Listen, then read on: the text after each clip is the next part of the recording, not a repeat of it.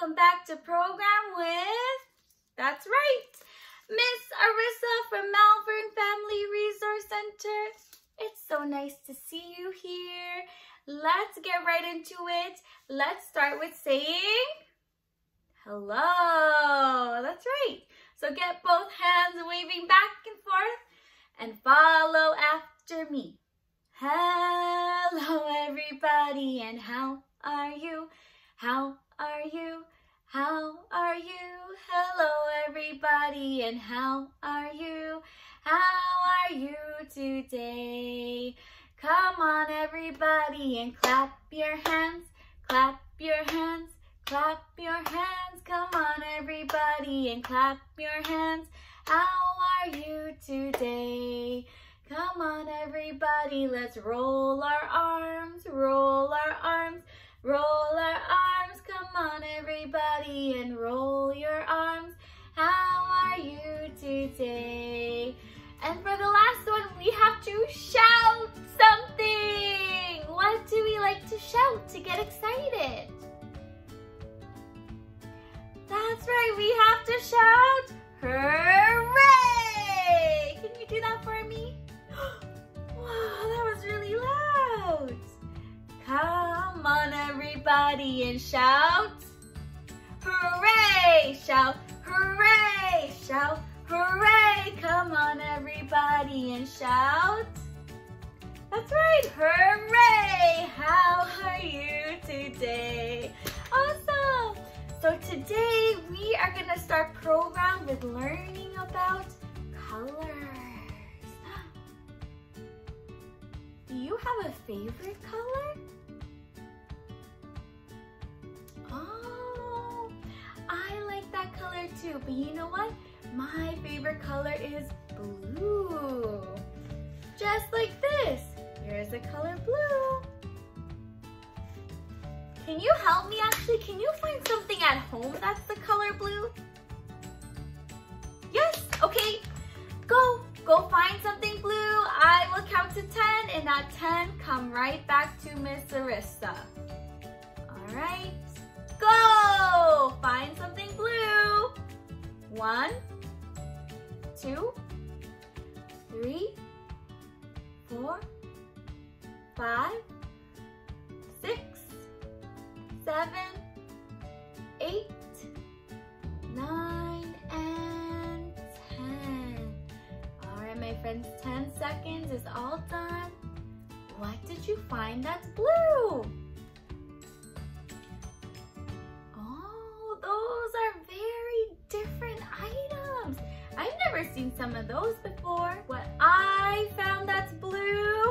Are these two cups of hot chocolate. Do you like hot chocolate? Yeah?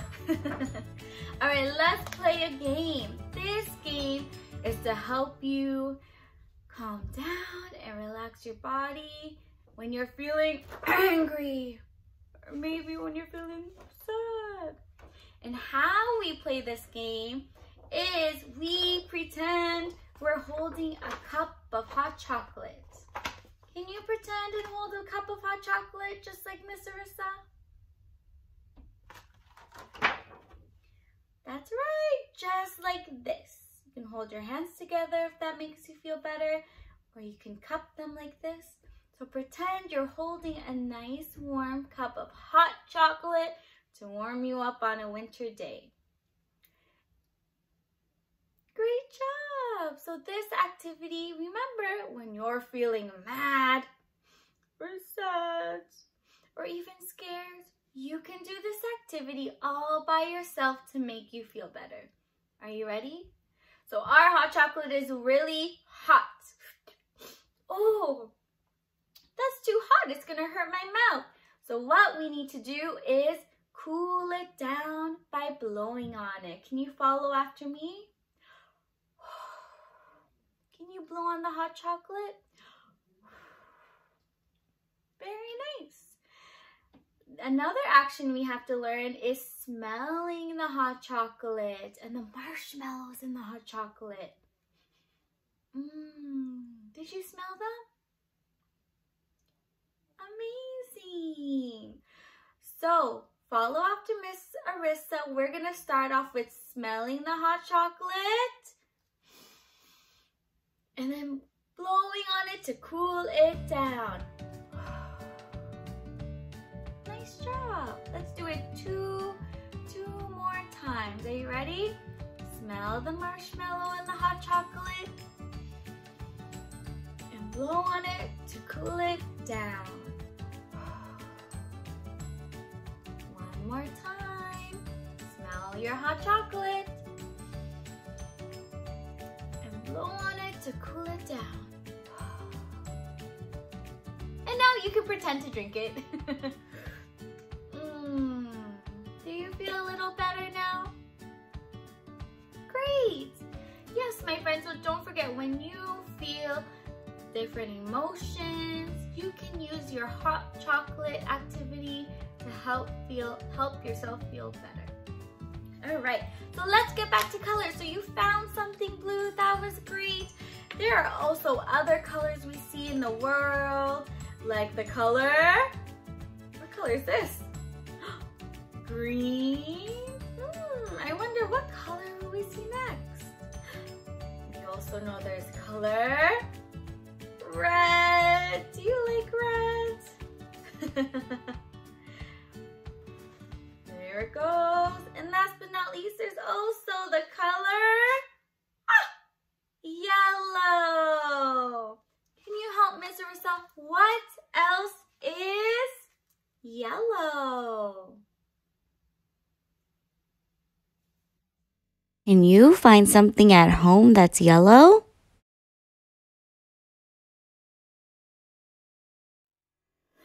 Oh yeah, those are many different things, but one thing I have in mind are bananas. All my friends stand up and let's do the Go Banana song together and get our bodies moving. All right, everyone, we are gonna move our bodies. Can you make your body into a banana just like Miss Arissa's? Lift those arms up to a point. Yep, just like this. And we're going to peel banana, peel, peel banana, peel banana, peel, peel banana. Now chop banana, chop, chop banana, chop banana, chop, chop banana. Now mash banana, mash, mash banana. Come on, mash banana, mash, mash banana. And this is my favorite part. We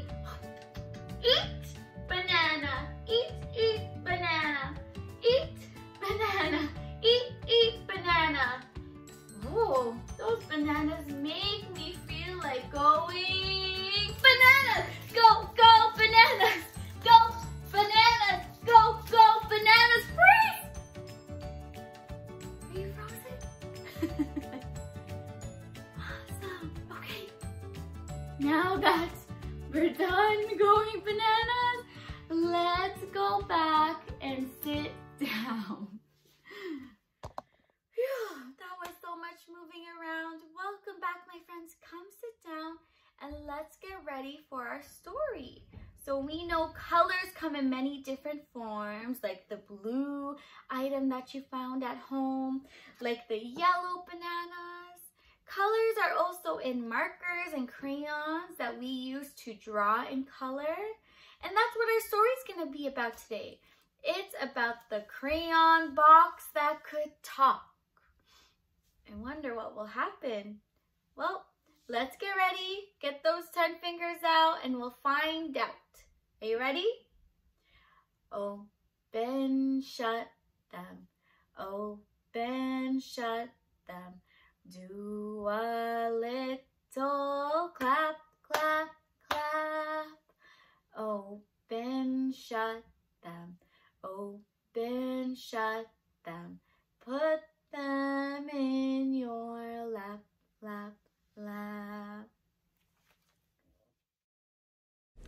The Crayon Box That Talked by Shane DeRolf, illustrated by Michael Letzig. While walking in a toy store, The day before today, I overheard a crayon box with many things to say. I don't like red, said Yellow, and Green said, Nor do I.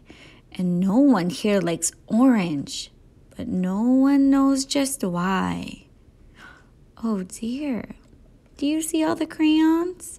There's green, yellow, red, blue, brown, and purple. Do you think they're happy or do you think they're mad? Yeah, they're really mad with each other. Let's find out why. We are a box of crayons that doesn't get along, said Blue to all the others. Something here is wrong. Oh dear, why do you think the crayons don't like each other? Well, I bought that box of crayons and took it home with me and laid out all the colors so the crayons could all see. What do you think the crayons will see? Me, as I colored with red and blue and green and black and white and orange and every color in between. What's your favorite color to draw with? They watched as green became the grass and blue became the sky. The yellow sun was shining bright on white clouds drifting by. Hello, Mr. Sun. Colors changing as they touched, becoming something new. They watched me as I colored. They watched till I was through. Look at all those different crayons. What shapes do you see on the page?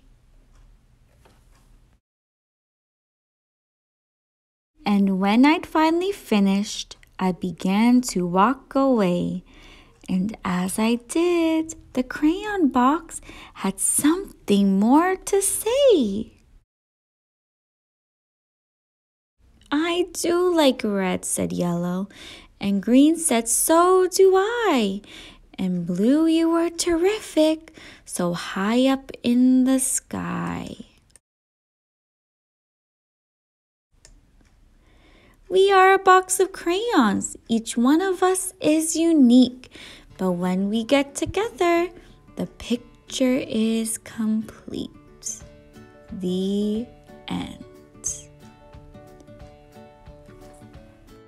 I hope you enjoyed that story, my friends. And please don't forget no matter how you look, whether you're bubblegum pink, chocolate brown, sandy colored, almond colored, red, purple, green. Everyone is different in their own unique way, and without you, we wouldn't be complete. Just like the crayons, we use and see colors everywhere in our everyday life. And can you help me? Where else might we see colors when we're walking outside? Is the traffic light. And what colors do you see on the traffic light? I'll point to them and can you say them really loud for me? What color is this? Yep, that's red. What color is this one in the middle? That's right, that's yellow. And the last color is green. So A traffic light is a light on the street that cars follow and that people who need to cross the street follow too. Can you help me again? What does each color mean? I'll give you a hint. Green means go. What does yellow mean? That's right. Yellow means you move slowly or you slow down. And red means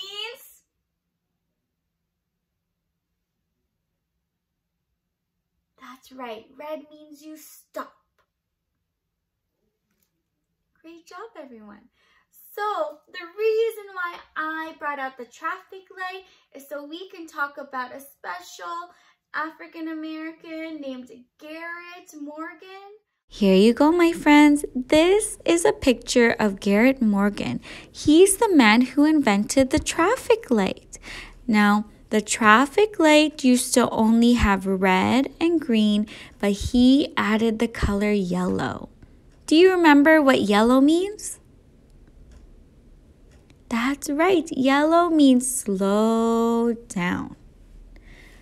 Mr. Morgan was born 142 years ago. That's way before your grandma and grandpa were born. During this time, people were very unkind and unfair to him because he had dark skin. And that, my friends, is what we call racism. So, whenever you treat someone differently who doesn't look like you or who doesn't do the things that you do, that is racism. And racism is not nice. We don't want to do racism and be mean. We always want to treat others around us with love and kindness. Just like Garrett Morgan, we are going to make our own traffic lights. So let's put our listening ears and see what materials we need before we start our craft.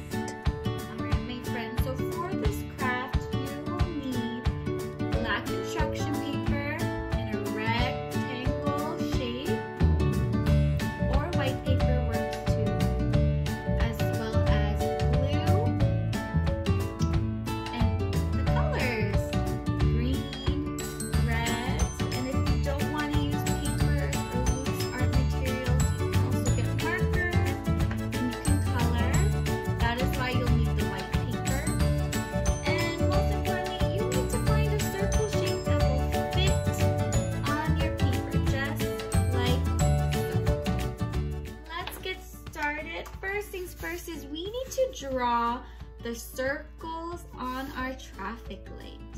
So get your circle and a marker and just trace around the circle.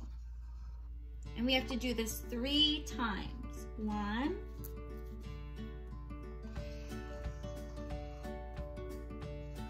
two,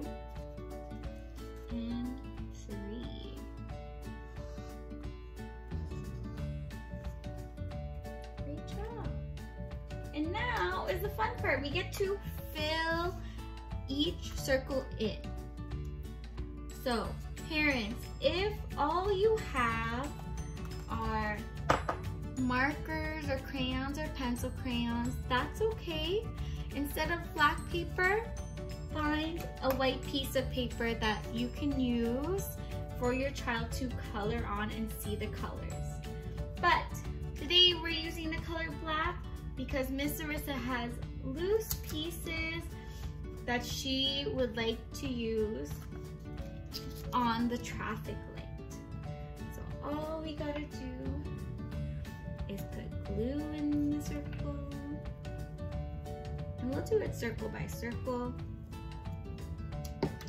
And what I love about using paper is that children, we can rip it. And ripping the paper strengthens our finger muscles so we have more control when we start writing. And you can rip big pieces, small pieces, whatever you like. Okay, so we're filling in the red. And red means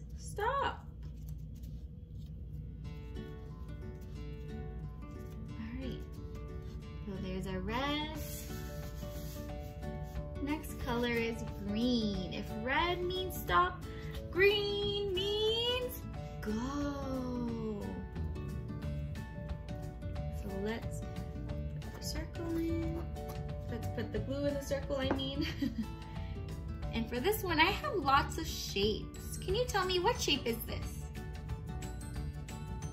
That's right, it's a heart, a green heart. So I have a big heart, I have a medium heart, I also have a small heart. We'll stick all those in. I also have other shapes here. What shape is this? This shape has four sides. One, two, three, four. What shape has four equal sides? That's right, a square. So we have dark green squares and light green squares. We're gonna stick them all there too. Perfect. So for our traffic light, we have red, we have green. Green means go, red means stop. But can you help remind me what color goes in the middle? That's right, yellow. And I don't have any yellow pieces, so I wanted to show my friends how they can color yellow, especially if they're using white to make a white traffic light. So Miss Arissa just cut a circle out of white paper from scrap white paper. And I'm gonna get my yellow marker. I'm just gonna color it. So now we have a yellow light.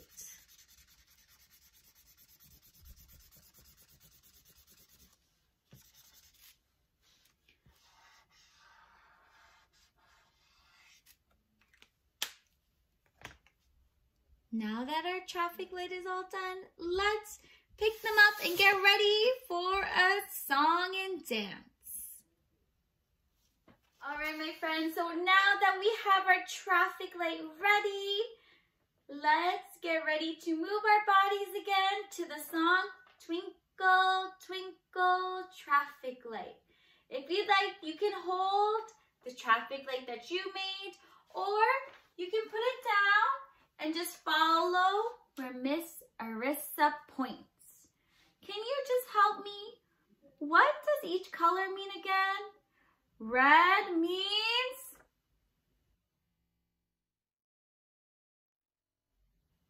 stop, that's right. Yellow means slow down. And green means go. All right, follow my actions. You can start with stomping your legs and flashing the lights by blinking your fingers. Twinkle, twinkle, traffic lights, round the corner shining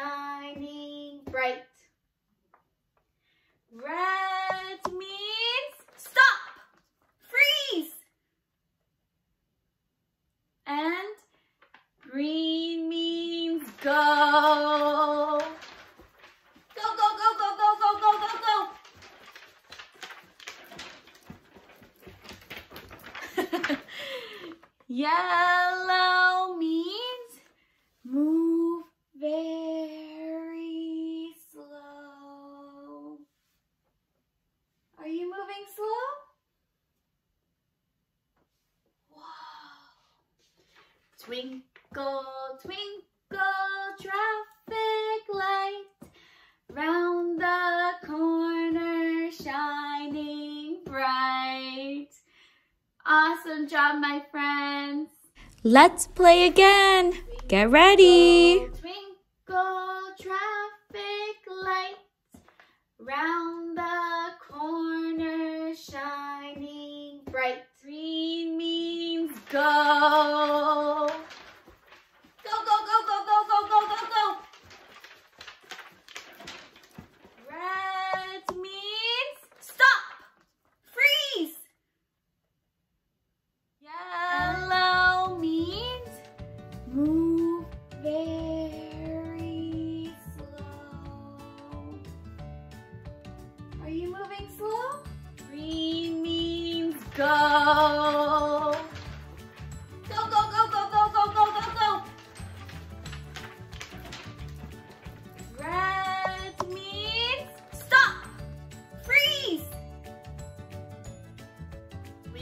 Twinkle, twinkle, traffic light round the corner shining bright. Alright my friends, so I hope you had fun with Miss Arissa today and remember, even though someone might look different than you, have a different skin color, have different eye shape, have a different hair color, no matter how they look, it's always important to treat others with kindness and love. All right? And with that, let's sing our goodbye song and I'll see you in the next video, my friends. Clap your hands. We had a happy day. We had a happy day. Hi, ho, this I know. We had a happy day. Goodbye, my friends, goodbye. Goodbye, my friends, goodbye. Goodbye, my friends, goodbye, my friends. I'll see you next time. Bye-bye, everyone. Stay safe, and I'll see you next time.